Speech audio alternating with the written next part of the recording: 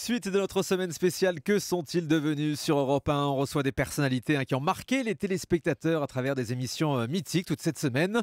Et aujourd'hui, on a décidé de revenir sur un programme de télé-réalité qui a fait l'événement en 2001 et 2002, Love Story sur M6.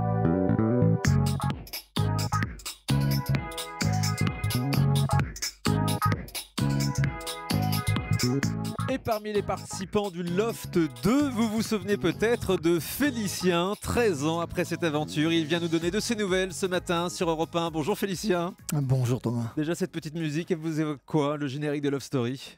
Euh, ben, des souvenirs, hein. c'est grâce à ça que je suis monté à Paris, que j'ai découvert Paris, que je me suis installé à Paris. Donc euh, c'est le, le départ d'une nouvelle vie, comme on peut dire. C'est la question qu'on pose à tous nos invités cette semaine. Que devenez-vous? Euh, qu'est-ce que je deviens? Euh, En quelques lignes, ça va être compliqué, mais. Essayez de faire court. Euh, non, aujourd'hui, ben, je suis producteur, auteur de livres, producteur documentaire, de musique. voilà, j'ai vivoté dans, dans, ce milieu audiovisuel, spectacle, littéraire, et j'ai réussi petit à petit à gravir les échelons et aujourd'hui être éditeur, écrire mes, des, des livres sur le sport, produire des documentaires, et voilà. Alors qu'à l'époque du Loft, vous étiez très jeune, hein, vous aviez une, vingtaine d'années, vous étiez encore étudiant? Non, non, non, j'étais euh, sportif. J'étais, euh, j'étais sportif, je jouais euh, au basket, j'avais des, des, emplois par rapport au club qui me trouvaient des, des, euh, et grâce au loft, vous avez trouvé votre voie dans l'audiovisuel. Euh, oui, je pense que oui, parce que si j'étais resté dans le, dans le sud-ouest, dans mes landes de Natal et dans mon petit village, je pense que jamais, au grand jamais, j'aurais pu, euh, ben, j'aurais pu être là aujourd'hui en tant que, que personnalité. J'aurais jamais pu produire, rencontrer des gens et, vivre aujourd'hui de quelque chose qui est une vraie passion. Bon, et Félicien, cette ancienne image de lofter, elle n'est pas trop prenante? Euh, elle est prenante, oui. Euh, aujourd'hui, vous m'invitez déjà par rapport à, cette image. Euh, mais évidemment, on a toujours un passé. Vous avez un passé, on a tous un passé. Alors, c'est vrai que le mien, il vient de la télé-réalité. Il y en a qui, pour eux, c'était en première télé-réalité. Oui, hein. oui, on était des précurseur. Moi, j'étais un précurseur et un ovni aussi, parce que euh, quelqu'un qui arrive avec un accent et qui qui va pas en plus pour pour faire de la télé, puisque j'ignorais totalement. Vous savez, dans un village de 1500 habitants, on pense, on parle de tout, sauf de, de, de, Paris, de la télé euh, et de ces programmes-là. Et c'est vrai que ça a été une chance euh, à un moment où ben, c'est vrai que la vie, de la routine que j'avais dans le Sud-Ouest, la fête et tout ça, j'avais envie de changer, mais je croyais pas que j'allais changer en faisant cette émission. C'était vraiment euh, de l'inconnu pour moi. Les gens ont oublié aujourd'hui? Euh, le loft, euh, oui, le loft, je pense que les gens en, parlent. mon personnage, je pense qu'ils l'ont pas oublié, ce personnage assez festif, rouge et blanc, avec la uh-huh. peña cum cum, tout ça. Je pense que les gens étaient attachés à ce personnage. Mais on vous reconnaît toujours? Oui, ouais, ouais. Alors, c'est vrai que dès que je parle, c'est sûr et certain. on reconnaît la voix. Ça voilà, on reconnaît la voix. Et l'accent. et, l'accent. Mais c'est vrai que quand on me croise dans la rue, c'est au deuxième coup de regard, c'est vrai que j'ai pas les cheveux rasés, j'ai pas le foulard rouge. C'est vrai qu'il y a cette image. Mais aujourd'hui, on me reconnaît plus Félicien Taris qui écrit des livres ou qui fait d'autres choses. C'est vrai, il y en a qui, ou des, même des journalistes, je vais des fois dans des émissions de télé qui me reçoivent par rapport à, mon parcours professionnel depuis à peu près maintenant 8 ans vraiment où je, travaille à fond sur, sur les, médias. Mais euh, voilà, ils, oublient que j'avais fait ça, ou ils ne ils le savent pas du tout. Et ça, c'est assez agréable. Alors que l'étiquette a longtemps dû vous coller à la peau, j'imagine, non? Ben, Tant qu'elle me collait à la peau, elle me rapportait de l'argent. Donc il ne faut pas non plus cracher dessus, puisque euh, j'ai fait le love, j'ai sorti une chanson qui a très bien marché, euh, qui m'a permis d'aller en tournée. J'étais Félicien Kumkumania. Évidemment, je venais du love, c'était quelque chose d'énorme, puisque euh, en termes d'audience, c'était 11 millions de personnes. Donc, énorme. voilà, on va pas cracher dessus. Les gens me reconnaissaient pour ça. Et moi, je gagnais de l'argent grâce à ça. Après, au bout d'un moment, une fois que l'orange le, elle est pressée, on peut plus rien sortir. Donc au bout d'un moment, il faut passer à quelque chose d'autre. Il y en a qui vivent sur la télé-réalité. Moi, non, ça n'a jamais été mon, mon but et puis je sais pas. Je Vous sais avez pas gagné faire. combien grâce au loft et grâce au disque? Euh, Assez pour pouvoir produire tout ce que je fais aujourd'hui. Alors évidemment, pour me lancer, c'est-à-dire pour avoir de l'argent, c'est plus facile d'arriver dans ce métier, de commencer à produire. Combien, ça se compte en dizaines de milliers d'euros, centaines de milliers d'euros? Oui, c'est centaines de milliers d'euros, parce que à l'époque j'étais. Grâce alors quoi? Plutôt au disque Ouais, en fait? plutôt au disque, oui, parce que le, loft lui-même, euh, ça rapporte pas. De, Vous étiez payé combien pour faire le loft? Euh, Si mes souvenirs, je, je l'avais déjà dit, moi j'avais touché 24 000 francs. Ah oui, c'était en francs déjà encore à l'époque. encore des francs. Donc pour moi, c'était énorme puisque le, euh, quand vous gagnez 5 euh, 5000 francs à l'époque, c'était beaucoup. 10 000 francs, c'était énorme à l'époque. 3 000 et quelques euros, quoi. Vraiment pas grand-chose. En euros, ça veut rien dire. Ouais. Mais voilà, mais il y avait les droits photos. Les droits photos, c'était des, des, des gros chèques, c'était des 100 000 francs à l'époque. C'était énormément. Mes parents, comme moi, euh, mes parents étant agriculteurs, n'ont jamais eu des sommes euh, comme ça, moi non plus. Donc c'est vrai que cet argent-là, et après c'est surtout, euh, je pense, l'intelligence de m'entourer après d'un avocat ou comme ça qui a fait que j'ai produit euh, Pour des exploiter votre image, en fait, c'était ça. Ouais, c'est non, c'est pas ça. C'est surtout pour euh, m'écarter des requins qui pouvait y avoir sur la place de Paris, puisque moi je croyais que les requins c'était les gens autour de moi qui voulaient faire du business sur une image, tout ça. Et en fin de compte, certains de de, de ces requins étaient plutôt autour de, de moi, étaient plutôt des amis qui, qui ont vu qui ont vu Vous qu'on avez perdu gagner. des amis? Euh, on perd toujours des amis quand il y a de l'argent. Vous le savez très bien. euh, je veux dire, aujourd'hui, dans ce métier. Et avant, oui, j'ai perdu, j'ai perdu des, des, des potes euh, qui ont gagné de l'argent. Comme je disais dans mon, mon- dans mon one-man show, les amis qui me veulent mon bien veulent surtout mes biens. Voilà, c'est, je, je- je m'en suis rendu compte au fur et à mesure. On paye pour apprendre. Voilà, c'est de l'argent que j'ai gagné facilement.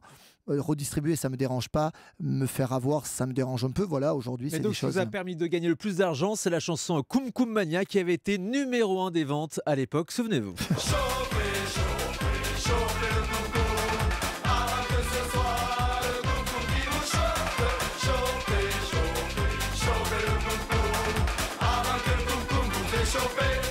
Elle avait cartonné cette chanson, Félicia. Elle a cartonné. euh, J'en étais très très très fier. Euh, j'ai pu partir en tournée. Vous imaginez Vous l'aviez fait sérieusement? Euh, J'ai jamais rien fait sérieusement. Je veux dire, euh, toute cette période-là, c'est fait. euh, je ne sais même pas pourquoi encore. aujourd'hui- Vous savez qu'aujourd'hui, cette chanson avait été refusée à la base. C'est-à-dire C'est-à-dire qu'à l'époque, je, quand j'ai fait le, le Loft, quand j'ai demandé à partir de, de l'émission parce que euh, ça me correspondait pas, voilà, moi j'étais allé pour euh, parler de ma région et parler de mes potes et de la Peña. En fin de compte, je pensais même pas à moi, je pensais plus aux gens qui étaient autour de moi. Euh, en sortant du Loft, on a voulu me faire chanter une autre chanson qui s'appelait Félicien aussi. C'est original, c'est subtil. Et euh, j'ai refusé parce que, en deux mots, on... Donc c'est vous qui avez imposé la Kum Kum Et Mania voilà, j'ai dit, on va sortir la Kumkumania. Tout le monde m'a dit non. Ouais. Mais quand je vous dis non, et je suis allé carton. taper aux portes des, des- des- des maisons de disques. Et en fin de compte, eh bien, euh, ça s'est fait. Donc, je suis resté producteur. Et on a fait cette chanson qui, qui, qui, qui est une chanson de rien, qui est une chanson de potes. Et donc Voilà. là, combien? Ça vous a rapporté combien? Euh, alors, honnêtement, euh, là, parce que ça rapporte encore aujourd'hui. Euh, Et encore avec l'extrait qu'on vient de passer ce matin sur voilà, Europe 1. merci beaucoup, c'est très gentil. Non, non, il y, a eu- il y a eu ça, il y a eu les tournées, surtout les tournées à l'époque, ça Ouais. rapporte beaucoup d'argent. J'ai arrêté en 2005 les, les tournées, ça rapportait euh, de l'argent euh, pour produire des documentaires. Donc, euh, honnêtement, oui, c'est en plusieurs milliers d'euros, centaines de milliers d'euros. Plusieurs centaines de milliers d'euros. On vous demande de la chanter encore des fois? Oui, mais pour l'instant, j'ai pas.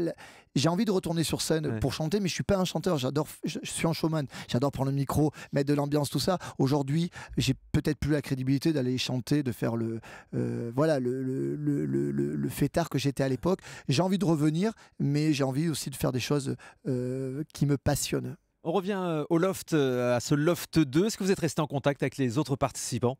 Euh, alors. En devenant ami, non, c'est comme en colo. euh, voilà, quand on quitte la colo, on n'a pas trop de.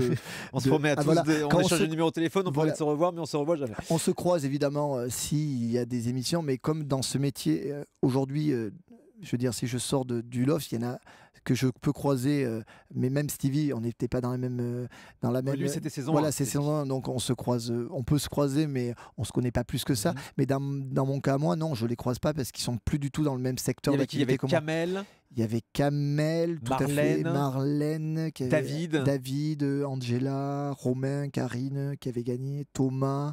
euh, et puis il y avait Afida Turner euh, Ah, aussi. là, oui, vous étiez dans le loft oublié. avec, euh, avec oui, Afida qui s'appelait- pas comme ça. Oui, elle s'appelait autrement, elle poursuit tant bien que mal sa, sa- sa- sa carrière de, de chanteuse et de star internationale. Elle s'appelait Leslie à l'époque. et quel regard vous portez sur elle aujourd'hui? Je, je l'assume, je suis pas du tout ce qu'elle fait. Je vois les, euh, les frasques qu'elle fait par rapport au, euh, au bêtisier ou même, euh, Ouais. je crois que ici vous en parlez aussi. Euh, je trouve, c'est pas du tout mon univers. Je veux dire, je sais pas si elle a du talent ou pas, mais en tous les cas, elle a du talent pour faire parler d'elle, mais pas à bon escient, je pense. Voilà, c'est pas du tout un axe artistique qui me, qui, qui me fait rêver ou comme ça. Donc, je sais qu'elle voulait y arriver. C'était son métier, elle faisait ça déjà avant. Voilà, elle a accentué ce côté sexy Elle a tout voulu ça. se faire connaître hein, et elle, Elle a réussi faire parler d'elle et aujourd'hui. aujourd'hui elle fait parler d'elle pour, pour, pour rien. C'était scénarisé le loft, euh, Félicien. On vous demandait de faire des trucs spéciaux. Euh, oui, on a, on a con- un conducteur. Je veux dire, il nous disait ce soir on va faire une soirée tel thème, tel thème. Alors évidemment, on était plus ou moins orienté. Au départ, on s'en aperçoit pas euh, qu'on est. euh, alors je dirais pas qu'on est des marionnettes qu'on guide parce que on est quand même libre. La preuve, euh, j'étais quand même une, une grande gueule et quand j'ai voulu partir, j'ai dit stop, je, m'en vais. Même s'ils m'ont dit non, tu peux pas partir, je suis parti quand même. Donc on n'est pas non plus euh, euh, des, des, Des pantins. des pantins, Voilà. Alors il y en a qui sont contents d'être des pantins pour y arriver. Euh, non, oui, c'était guidé, c'était guidé, c'était orienté, comme on oriente une émission de radio, de télé, euh, pour, pour qu'on parle ou une, ou une interview. Là, c'était orienté, mais on n'était pas euh, guidé. Après, l'image, on la maîtrisait pas. Ce que vous avez vu de moi, je, je, ne, je, je pense que je ne, il y avait un peu de ce que j'étais, mais après, elle peut être grossie. C'est vrai, quand j'ai vu les images, j'ai dit, Mm. ils ont grossi le personnage du fêtard, tout ça Avec le montage. avec le montage. Mm. Mais ce qui est normal, on est là, ils sont là pour faire de l'audimat. Nous, on, est, on a signé un contrat pour participer aussi, c'est donnant-donnant. Et il s'est passé des choses inavouables? Euh, De la drogue, de l'alcool, du sexe? De l'alcool, oui, parce que moi, j'étais un, j'aime bien faire la, fête. J'avais demandé qu'il y du Ricard, évidemment, euh, mais pour l'apéro. Mais je veux dire, autrement, non, euh, comme, euh, comme chez vous, après la drogue, moi, je suis anti-drogue, je n'aime pas du tout ça. Donc, c'est vrai qu'autour de moi, il n'y en, en avait pas. Peut-être qu'il y en a qui en prenaient, mais je sais pas où. Alors. Et quel regard vous portez sur la télé-réalité d'aujourd'hui, Félicien? Les anges, les ch'tis, on a l'impression que les participants aujourd'hui sont devenus des candidats professionnels? Ah, Je pense que c'est or, des comédiens. Je pense pas. Aujourd'hui, je le regarde beaucoup moins. Je regarde pas du tout même. Je regarde euh, pour me tenir informé des nouveaux programmes ou euh, voilà euh, des idées de. en- des fois, en tant que producteur, on me disait est-ce que je pourrais produire? Aujourd'hui, quand ils vont chercher quelqu'un, ils savent qui c'est qu'ils vont chercher et eux sont vraiment connaissent tous les codes. Je veux dire, ils le font pour une raison. Alors aujourd'hui, c'est c'est devenu un métier de- d'être candidat de télé-réalité parce que c'est toujours les mêmes dans, dans ces émissions-là. Euh, moi, je veux féliciter certains producteurs qui ont quand même des idées de refaire les anges, c'est-à-dire euh, reprendre des Les anciens. anciens candidats les des autres anciens, émissions. Et il y a des, des diffuseurs qui achètent pour, et que ça marche. Euh, les ch'tis, alors on va se dire, tiens, on va prendre une. Je veux dire, euh, c'est fou et surtout que ça trouve un, un public. C'est voilà. Donc aujourd'hui, c'est en train de baisser un peu, mais euh, c'est plus le, le côté producteur qui, qui moi, me, j'aurais bien voulu avoir l'idée. C'est ça, oui, qui, qui vous intéresse et, et qui vous fascine. Si c'était à refaire, vous referiez tout? Je... C'est dur. euh, Aujourd'hui, euh, je suis content de, ce que je fais aujourd'hui. Je pense pas que je recommencerai euh, de la même façon. Oui, je, je repartirai, mais peut-être que je penserai plus à ma gueule. Je veux dire, je mettrai plus mes atouts et je construirai. J'essaierai pas de. Comme aujourd'hui, ça fait 13 ans, comme vous le disiez, que je suis dans ce métier. Aujourd'hui, je commence à voir la, la, la, le, regard des professionnels qui dit Ah oui, il produit, il fait des choses intéressantes. C'est pas du tout le mec du loft qui fait ça. C'est aujourd'hui Félicien Taris qui écrit, qui produit. Euh, c'est quelqu'un qu'on prend au sérieux. C'est vrai que de se racheter une image, c'est un peu, un peu physiquement, c'est fatigant. Voilà, il y a peut-être que ça, au lieu de penser trop à, mon, à, ma, à ma région, à mes potes, je penserais plus à me mettre en avant et peut-être déjà calculer, à me dire, voilà, je vais pas avoir un créneau comme ça. Voilà, mais on, on est, on est, j'étais un spoon, euh, j'étais ce, ce, ce, ce petit idiot du village, on dirait entre guillemets, que, que j'apprécie comme film, euh, qui monte à Paris, qui Vous se retrouve. jeune. J'étais jeune, fougueux et, euh, inconscient et innocent surtout. J'étais innocent. Je pense que c'est cette innocence qui a fait aussi que j'ai eu ce personnage qui a plu. Après, euh, aujourd'hui, je me, suis, je me sers des fois de cette innocence, de ce personnage, parce qu'il y a des choses qui, qui étaient intéressantes, la région, euh, euh, la culture, où il y a une place de... La preuve, un prénom comme Félicien, vous n'en rencontrez pas tous les quatre matins. Donc c'est vrai qu'à l'époque, ça avait, ça avait une force. Aujourd'hui, Félicien, quand je dis Félicien, c'est vrai que quand j'appelle un, programme, un, un producteur ou un, ou un diffuseur, Félicien, ils savent qui c'est. Après, aujourd'hui, ils savent qui c'est et surtout professionnellement. Et vous avez marqué effectivement euh, les Français. et Cette expérience, euh, vous nous l'avez expliqué euh, ce matin, vous a permis de faire plein d'autres choses donc dans la production audiovisuelle. On a plein, bien compris avec des documentaires. Et puis euh, ce livre qui sort sur la Coupe du Monde de rugby, c'est ça? C'est le troisième, s'appelle La Coupe du Monde au rugby, toute une histoire. J'avais sorti euh, France-Angleterre, le crunch qui est d'actualité, puisque là, dans quelques jours, il y aura deux matchs, euh, France-Angleterre et Ang- Angleterre-France et France-Angleterre pour le centième euh, rencontre. Donc je raconte toute l'histoire, le côté historique de ces rencontres, de la France, de l'Angleterre, de la guerre au terrain de rugby, où on livre des batailles, mais il y a un enjeu de, de territoire, parce que vraiment, entre la France et l'Angleterre, il y a une rivalité avec, et notamment maintenant avec le rugby. Et aujourd'hui, la Coupe du Monde de rugby qui va commencer dans, dans un mois.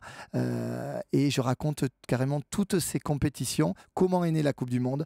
Et je, je traverse, je traverse les, les, les, les années, les, les, les époques pour en arriver à aujourd'hui en 2015 avec la prochaine Coupe du Monde. Un livre signé de votre vrai nom, hein, Félicien. Félicien comme les trois. Comme les trois. Merci beaucoup Félicien d'avoir été notre invité. Merci euh, de m'avoir invité.